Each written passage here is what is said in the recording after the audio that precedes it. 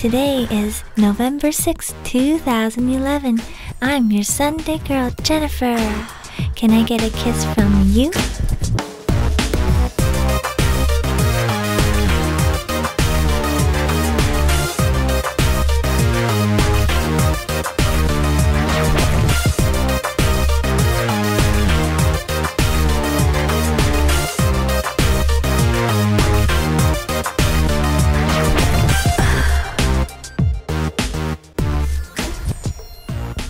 It feels like we are meant for each other, and for your love, I'll wait forever.